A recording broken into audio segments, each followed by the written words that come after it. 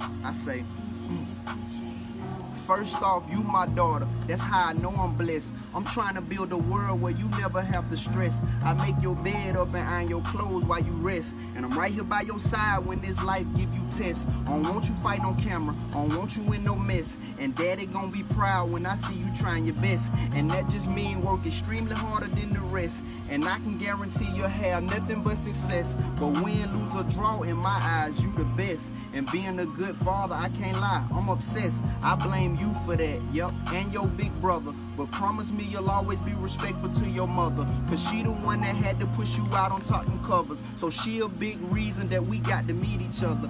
You shining like a diamond, the best I ever seen. And never let them call you out your name, you a queen. If God told me I could choose the daughter of my dreams, I still pick you like I'm trying to set a screen. You pretty like a flower, I love to watch you grow. And they gon' try to use you, you gotta tell them no. And write your goals down, knock them out and make some more. And never sing a song saying your mama made a whoa. I hope you understand. Always have a plan and make yourself happy before you worry about a man. Your name is a brand, and I'm a big fan. And when I cross over, just know God got your hand. And she won't break my heart when I take her out and spoil her. So if I'm booed up, I'm probably with my daughter. I love you, that.